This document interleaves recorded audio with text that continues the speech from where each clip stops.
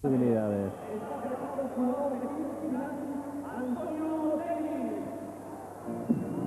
Turno para Antonio Davis que parte de un 53 con cierta comodidad para acceder a las semifinales.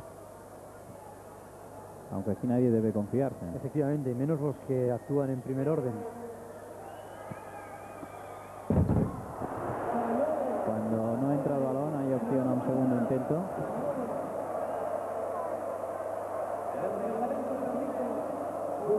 Está contemplado en el reglamento de la competición la posibilidad de hacer un segundo intento.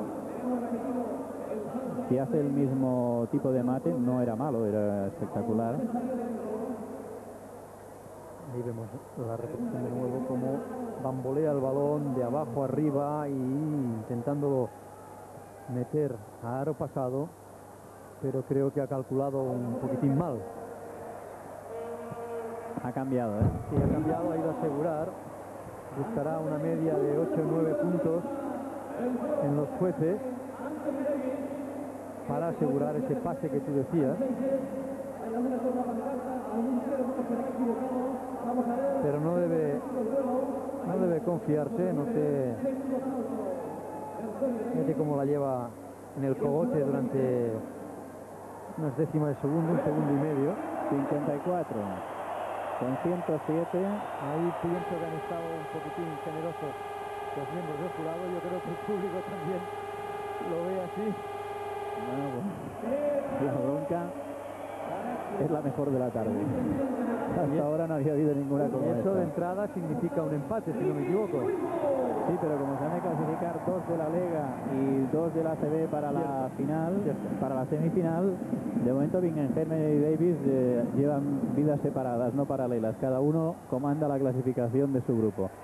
Winslow. Que no lo tiene claro, tiene que arriesgar ¿eh? para llegar a la semifinal. Bueno, marca de la casa también, ¿eh? Poca carrera. Cosa difícil, ¿eh? pero Poca carrera, balón abajo durante mucho tiempo, ahí todavía está abajo, lo empieza a subir y lo saca de atrás del todo. Roza un justito, poco. justito rozando el aro. Vamos a ver cómo le valora el jurado. Ahí vemos la repetición de esa otra toma. 54. No, hay 10 y todo. Uy, uy. 36, 56. Se va a los 110. El factor campo está teniendo su influencia.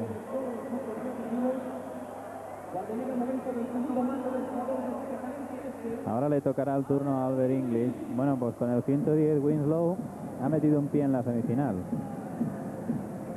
Y ahora English, que ha sido el que ha tenido la segunda mejor marca en la primera ronda. Y que intentará forzar. Pero parece que en el bando italiano la semifinal está mucho más clara. Bueno, comodito, comodito, sin complicarse la vida. Yo creo que sí, va a ser otro semifinalista. Vean que pone el pie justo donde acaba el círculo de la zona, o sea que el salto es cortito. ¿eh? Estos hay quien los hace desde la línea de tiros libres. ¿eh? Sí. El jurado baja la puntuación, 40. Hay un cartón que no, no se acaba de ver, 47. 47 parece. 47. Hombre, peligroso, ¿eh? 103, se puede quedar. Se puede quedar en la calle. Peligroso, ¿eh? Si Terry Siegel se esfuerza, que ha hecho también 47 en la primera ronda, se lo tiene que jugar al todo por el todo después de. Thompson. Levanten la vista del periódico, no se despisten. Ahora fíjense que viene Chandler Thompson. Muy interesante, ¿eh? Daba la sensación que lo sacaba por un lado, creo que lo ha cambiado. Vamos a ver, parece que la va a dejar por el lado próximo al tablero y luego lo cambia de mano. Y ya cuando Efectivamente, cae, efectivamente. ¿eh? Es muy difícil, ¿eh? interesante, muy difícil. Ha llegado muy justito, pero ese esfuerzo en dar la sensación que sube por un lado, pero el balón va por el otro lado y lo mete a dos manos, no a una mano, a dos manos, que todavía es más difícil. Creo que está ahí su dificultad y así el jurado también. esto. 40, 58. 118, el primero de largo y ya está en semifinales. Con dos mates muy distintos, ¿eh? espectaculares.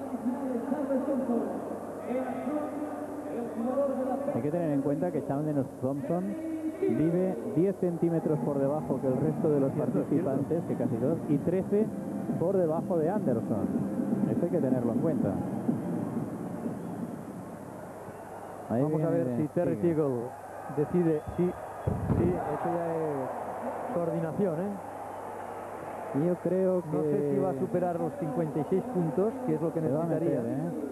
Si le dan 57, entra en semifinal. Y que van a entrar Antonio Davis y Terry Teagle. Vamos a ver la puntuación. Es el primer jugador que utiliza el, lanzamiento a tablero. Antes lo ha intentado Anderson, pero ha fallado. Se puede utilizar y a una mano, ¿eh? ¿eh? Y a una mano, ¿eh? Vamos a ver que creo que sí. 10, 20, 40, 58 Esto lo coloca en 105. Y, deja fuera a Albert Inglis. Davis y Tigel en semifinales. Se puede utilizar en este concurso cualquier objeto, persona, lo que se quiera, que en otras ocasiones no se había permitido, ha habido alguna vez que se ha dicho que no. Aquí se puede usar como hacía el gorila, poner un montón de chavales si se quiere. ¿Un mini tram también vale? Lo que haga falta. Eso ya no vale, ¿verdad? Un mini tram. No, porque entonces... Hombre, como no queda especificado qué objetos... Si pasa por encima sin tocarlo, Ojo, ¿eh? Que viene tres cuartos de campo. cuidado, cuidado, hombre. No. Si se le va la fuerza por el camino. Cuando, cuando los chavales pequeños juegan al fútbol y, van a lanzar un penalti y se van a la otra punta del patio para y llegan que ya no pueden chutar. Ha cambiado, ¿eh? ha cambiado después del error. Va a asegurar de espaldas. Se aguanta un poco ahí arriba para que le den más puntos. Pero lo va a tener complicado, ¿eh? Necesita para superar a Ricky Winslow. 57. 57 necesita, sí.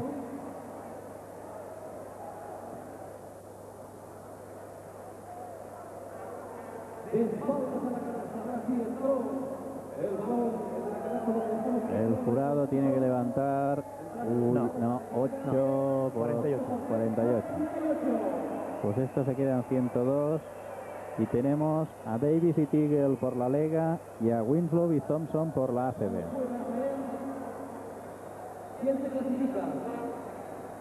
Thompson, Winslow creo que están respondiendo bien a las expectativas. Creo que hay un poquitín de sorpresa en el bando italiano. Esperaba muchísimo más de Greg Anderson. Primera vez ¿eh? que hay concurso de mates.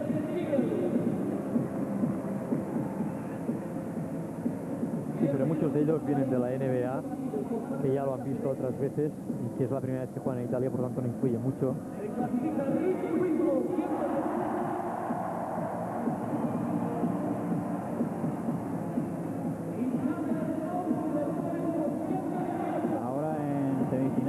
También hay dos intentos para cada concursante,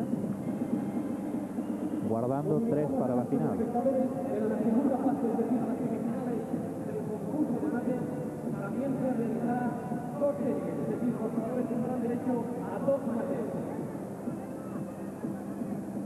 Si se sigue el orden previsto, el primero será Antonio Davis. Primero, o sea que Terry Tigel antes que Davis. Terry Siegel creo que ha jugado con la baza favorable de ser el último en la anterior serie y eso le ha permitido saber que tenía que arriesgar mucho para superar lo hecho por Albert English. Ahora le sucede todo lo contrario. Él sale de inicial y va un poco a ciegas.